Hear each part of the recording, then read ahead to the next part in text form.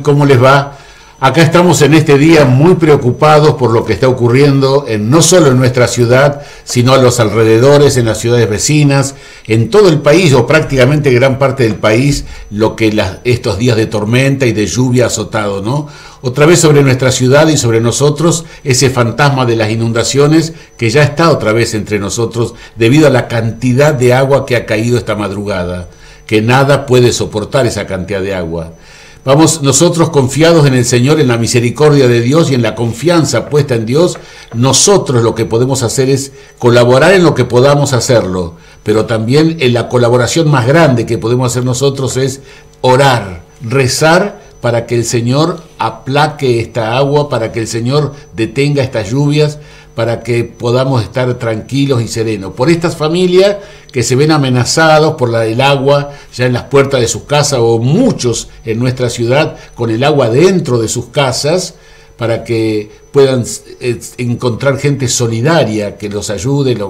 ¿Qué podemos hacer nosotros? Los cristianos, los creyentes, debemos orar y pedirle al Señor, ¿no? Pero todos tenemos que hacer una sola cosa, miren, obedecer en estas cuestiones de la inundación, de catástrofe, cuando pasa, ocurre algo así grande, importante, que involucra a mucha gente, lo que hay que hacer es obedecer. ¿A quién debemos obedecer? A aquellas personas que saben y que están al frente de todo el operativo. La municipalidad, por un lado, o este, defensa civil, los bomberos voluntarios, acatar las órdenes eso tenemos que hacer nosotros, tranquilamente. Yo sé que cuesta, que es muy difícil dejar la casa, abandonar, es muy difícil. Es muy difícil sentir con el agua en la casa, donde se lleva las pocas cosas o las muchas que tengamos, se lleva todas las cosas, los recuerdos, las, en fin, todo se lleva el agua. Pero debemos obedecer aquellos que, a aquellos que saben y que nos quieren ayudar realmente. ¿Cómo podemos colaborar? Obedeciendo si hay que tener cuidado, mucho cuidado, y el resto de la población, los que no está inundado, no entorpecer el trabajo de aquellos que lo están haciendo, ¿no? No entorpecerlo. Y cuando dice quédense en sus casas, cuando dice traten de no salir a la calle, traten de no tirar basura, hagamos esas cosas, obedezcamos a todo eso. Con eso estamos colaborando, con eso estamos ayudando, con eso estamos siendo solidarios con los demás, con todos, tratando de obedecer las órdenes, ¿no? Porque a veces, ¿qué podemos hacer nosotros? Lo mejor que podemos hacer es a ver, obedecer, ofrecer nuestra ayuda. Si es, no es necesaria todavía, bueno, estamos ahí latente, esperando la, ayuda. Por eso vamos a pedir al Señor en este día muy particular para nuestra ciudad, donde el río se salió y el arroyo y muchos lugares este, desbordados, las aguas, las cunetas, en fin. Pero nosotros debemos poner nuestra confianza en el Señor. Y dice el Salmo 62, miren, Confíen en Dios constantemente, dice la palabra. Confiar en Dios constantemente, aún en medio de esta desesperación, aún en medio de esta dificultad que es una inundación, aún en medio de estas cosas que nos llevan las, cosas queridas, ¿no? Lo que es el agua, donde arruina todo lo que toca el agua, evidentemente, donde no hay cosa peor que sentir en mi comedor, en mi pieza, en el lugar donde vivo, en mi casa, caminar dentro del agua. Confíen en Dios constantemente, dice el salmista. Ustedes que son su pueblo, nosotros somos el pueblo de Dios. Es, Dios es nuestro, Él es nuestro Dios y nosotros somos su pueblo. Y Él va a cuidar de nosotros si es que nosotros le pedimos al Señor confiadamente, ¿no? Desahoguen en, su, en Él su corazón porque Dios es nuestro refugio. Miren, desahogar en Dios lo que sentimos, el dolor, la angustia, la preocupación, ¿no? lo que nos produce el agua, lo que nos produce la inundación, eh, la impotencia de no poder parar, porque no lo podemos parar esto, ¿no?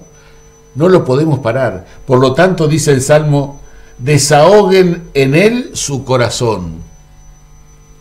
Ese corazón muchas veces dolorido, ese corazón ante eh, la adversidad angustiado, desahogarlo en el Señor, ¿no?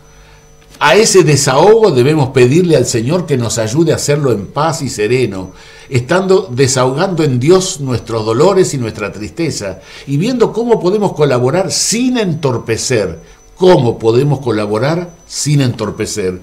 Y dice, los hombres no son más que un soplo, los poderosos son solo una ficción. Puestos todos juntos en una balanza, pesarían menos que el viento. Confíen en Dios constantemente. Eso es lo que debemos recalcar en este día. Lo que debemos llevar en nuestro corazón. Confiar en Dios. Nosotros que somos su pueblo.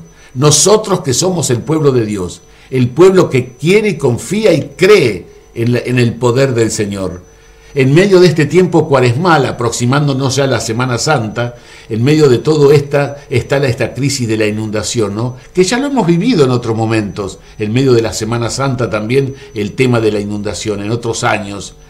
Pero pidámosle al Señor que nos ayude, que nos dé la fortaleza, que nos dé para compartir también nuestros dolores y nuestras tristezas. Desahoguen en Él su corazón.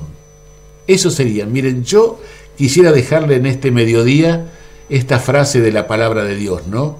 Confíen en Dios constantemente. No hay otra palabra. ¿Qué, podemos decir acerca de las personas que tienen agua en sus casas? No es fácil encontrar una palabra, ¿no? Pero la palabra de Dios es sanadora y la palabra de Dios es salvadora, nos sana y nos salva, ¿no? Por eso yo les dejo esto, el Salmo 62. Confíen en Dios constantemente desahoguen en Él su corazón, porque Dios es nuestro refugio. En Él nos vamos a refugiar. Y yo quiero invitarlos muy especialmente, miren, mañana viernes tenemos el Vía Crucis. ¿El Vía Crucis qué es? El camino de la cruz. Vivamos la cuaresma recorriendo ese camino de la cruz que hizo Jesús. Ya estamos, mañana 15 vamos a tener el Vía Crucis en el barrio El Molino, en la capilla Nuestra Señora de Itatí, a las 19 horas, vamos a tener el, el Vía Crucis y la misa.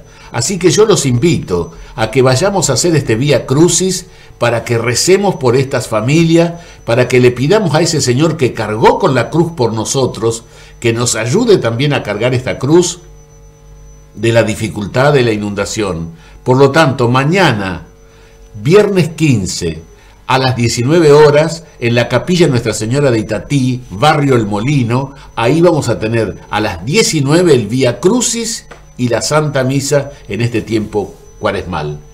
Muchas gracias, que Dios los bendiga y recuerden, confíen en Dios constantemente. Muchas gracias y hasta el próximo jueves si Dios quiere.